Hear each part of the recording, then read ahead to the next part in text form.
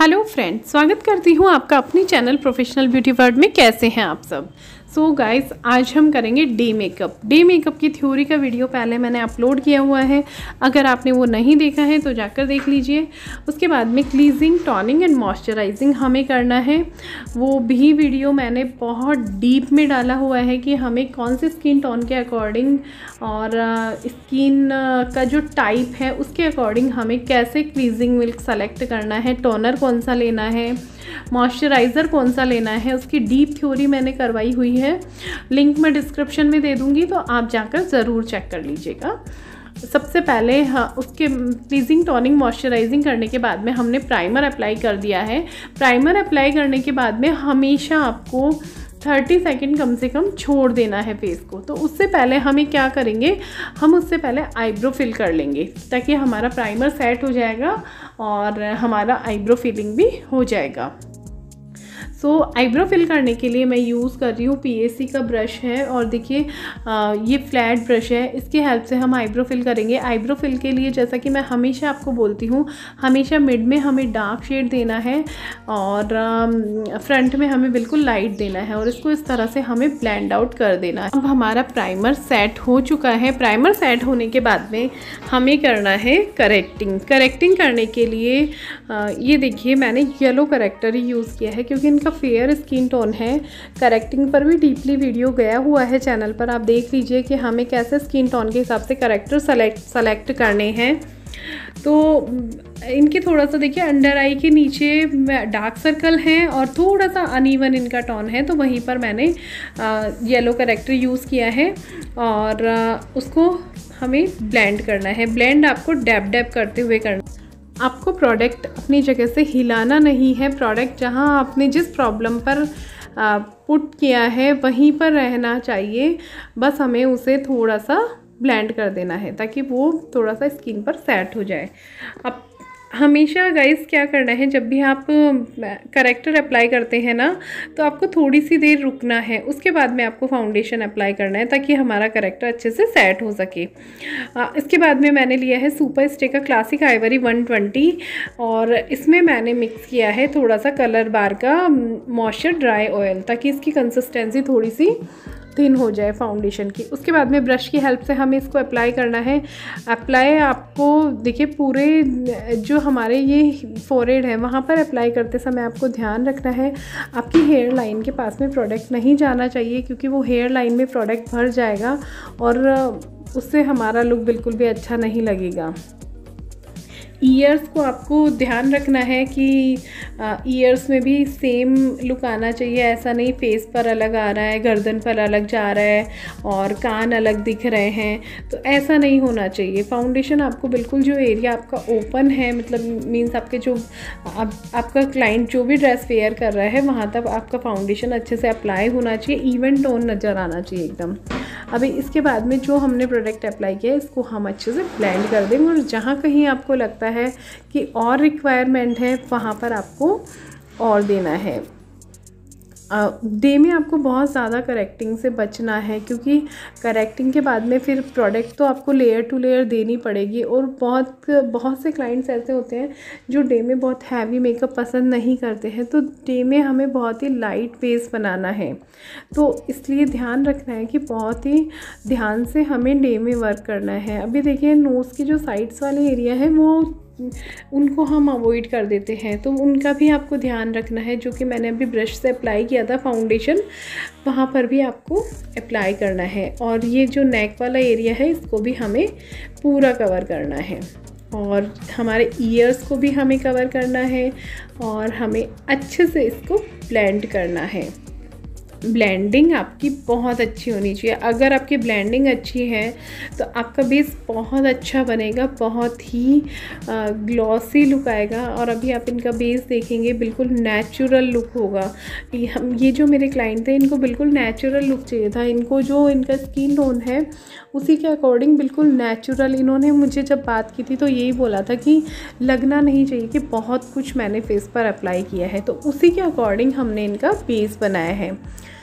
अभी थोड़ा सा हम हाइलाइटिंग करेंगे। हाइलाइटिंग के लिए मैं कोई कंसीलर यूज़ नहीं कर रही हूँ, मैं यूज़ कर रही हूँ यही शेड क्लासिक आइवरी 120 इसमें पहले मैंने ऑयल मिक्स किया था और अभी मैं इसको डायरेक्ट अप्लाई कर रही हूँ। अभी मैंने इसमें कुछ भी मिक्स नहीं किया है और हमारे अंडर आई वाले एरिया पर bridge of the nose and हमारी क्यूपिड बो और फोरेड फ्रंट फोरेड पर। यहाँ पर मैं इसको अप्लाई कर रही हूँ और उसके बाद में इसको अच्छे से हमें ब्लेंड कर देना है। थोड़ा सा हम हमारे जो हमारी जो कॉन्ट्रोल लाइन है उससे नीचे भी हम ये अप्लाई करेंगे। तो ये एक तरीके से ना लिक्विड हाइलाइटिंग भी बोल सकते हैं आप इसको। डे में हमें पाउडर हाइलाइटर यूज़ नहीं करना है। पाउडर हाइलाइटर को आप डे में स्कीप कर सकते हैं। सो so, इस तरह से हमें बहुत अच्छे से सेट कर देना है इसको। फिर हम यूज़ कर रहे हैं एले गर्ल का, वही आइवरी शेड ही है। देखिए, इनका फियर फेयर टोन है। तो कॉम्पैक्ट पाउडर भी हम उसी स्किन टोन के अकॉर्डिंग ही सेलेक्ट करेंगे। Face powder face compact powder जो मैं यूज़ कर रही हूँ, वो भी मैं इसी ब्यूटी ब्लेंडर की हेल्प से अप्लाई कर रही हूँ। जो ब्यूटी ब्लेंडर है, इसमें हमें साइड्स का ध्यान रखना है कि जिस साइड से आपने करेक्टर यूज़ किया है, उधर से आप फाउंडेशन यूज़ नहीं करेंगे। तो ये अगर आप ध्यान रखते हो तो एक ही ब्यूटी ब्लेंडर से बहुत सारा वर्क कर सकते हैं। अभी हम इनका आई मेकअप कर रहे हैं। आई मेकअप के लिए मैंने सबसे पहले आई बेस लगाया। आई बेस को ब्लेंड करने के बाद में इनका लहंगा रेड कलर का था। तो सबसे पहले मैंने पिंक कलर से कॉन्टोर लाइन पर कॉन्टोर किया है। जो हमारा कॉन्टोर एरिया है, वहाँ पर मैंने कॉन्टोर किया है। और उसके बाद में जो आउटर कॉर्नर है, आउटर कॉर्नर पर रेड शेड लेकर और आउटर कॉर्नर को थोड़ा सा डार्क किया है। ब्रश में यूज़ कर रही हूँ नायका की आई शेडो ब्लैंडिंग ब्रश है और काफ़ी अच्छी ब्लैंडिंग हो जाती है इससे। सो देखिए, इस तरह से आप हमें बिल्कुल हमारे शेड ब्लेंडेड लगने चाहिए। हमें आई शेडो इकट्ठा नहीं करना है एक जगह पर। अभी देखिए गाइस जब आप बेस बना लेते हैं, उसके बाद में अगर आई मेकअप करते हैं ना तो आपको बहुत ध्यान रखने की नीड है। या तो आप अंडर आई पर बेकिंग कर दीजिए। उसके बाद में आप आई मेकअप कीजिए तो जो भी आपका प्रोडक्ट डस्ट ऑफ़ होगा, उसको हम बेकिंग के लिए जो हमने यूज़ किया है पाउडर उसको हम रिमूव कर देंगे। लेकिन आप ब्रश में प्रोडक्ट बहुत ज़्यादा मत रखिए। आप अपने आई शेडो ले रहे हैं तो उसको पहले जो भी एक्स्ट्रा है उसको डस्ट ऑफ़ कीजिए और उसके बाद में अप्लाई कीजिए। अभी देखिए मैंने इस पर हुडा ब्यूटी की जो रोज़ गोल्ड वाली पैलेट है, उसमें से गोल्डन शेड लेकर इनर कॉर्नर्स पर अप्लाई कर दिया है। उनको मिड तक थोड़ा सा मैंने स्प्रेड किया है और जो आउटर कॉर्नर है, उनको अगेन रेड लेकर थोड़ा सा डार्क किया है। लाइट सा। बहुत ज़्यादा नहीं देंगे हम, क्योंकि दिन का मेकअप है और दिन में इन, इन्होंने बिल्कुल मुझे साफ़ मना किया था कि मुझे हैवी मेकअप नहीं चाहिए। तो बिल्कुल बहुत ही नॉर्मल और नेचुरल सा लुक मुझे इनको देना था। उसके बाद में आई लाइनर अप्लाई करेंगे। और अगर हुडेड आइज़ है तो ये वाला लाइनर बहुत अच्छा है। कलर बार का आई लाइनर है। और ये एक बार सूखने के बाद में बिल्कुल आइज़ पर ऊपर नहीं लगता है और काफ़ी अच्छा है तो आप ये वाला अप्लाई कर सकते हैं। उसके बाद में मस्करा अप्लाई किया है ब्लशर अप्लाई किया है। और लैशेज़ इनको नहीं लगवानी थी तो लैशेज़ मैंने स्कीप कर दी। और उसके बाद में लिपस्टिक मैं यूज़ कर रही हूँ। रेड शेड ही यूज़ किया है सुपर, मेबलिन सुपर स्टे। बहुत ही प्यारा शेड है और देखिए लिपस्टिक जो मैं अप्लाई कर रही हूँ, उसके लिए सबसे पहले आपको आउटलाइनिंग कर लेनी है और अगर आपको लग रहा है कि क्लाइंट के लिप्स अनईवन है तो उनको आपको पहले इवन करना है। अभी इनके लिप्स ऊपर वाला लिप्स देखिए काफ़ी छोटा है। तो उसको हम थोड़ी सी एक्स्ट्रा ओवर लाइनिंग करेंगे। थोड़ा सा मैं उसको ओवर लाइनिंग कर रही हूँ ताकि वो ईवन लगे और अच्छा लगे। और उसके बाद में इसको हम अच्छे से फिल कर देंगे। फिल करने के बाद में आप देख सकते हैं लिपस्टिक इनकी अभी कंप्लीट देखिए साइड से थोड़ा सा इवन नहीं है अभी तो इसको भी हम इवन कर देंगे।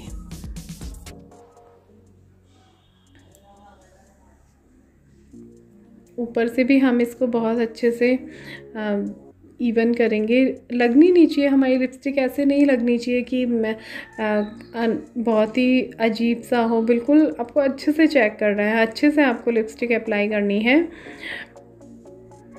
और इसको बीच से भी आपको बहुत अच्छे से फिल करना है।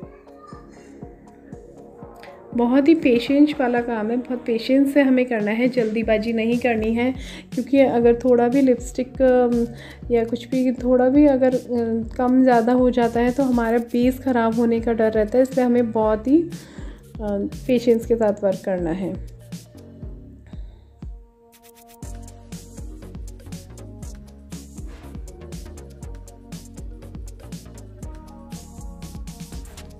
अब देखिए, नीचे हमें फिनिशिंग देने के लिए थोड़ा सा हम कंसीलर लेंगे और उससे हम हमारे लिपस्टिक को बिल्कुल इवन कर देंगे। हमारी जो लिप लाइनिंग है वो एकदम इवन नज़र आनी चाहिए। तो मैंने इसी ब्रश की हेल्प ले ली क्योंकि इसी में कंसीलर था तो इसी से हम इसको इवन कर देंगे और इसको थोड़ा सा ब्लेंड कर देंगे। और एक बार फिर से रीटचअप हम दे देंगे लिपस्टिक में। और देखिए कितने अच्छे से लिपस्टिक अप्लाई हो चुकी है। फिर हमने बिंदी लगा दी है और फाइनल लुक आप देख सकते हैं इनका कितना अच्छा लग रहा है। क्लाइंट भी बहुत खुश हुई, बहुत अच्छा लगा उनको।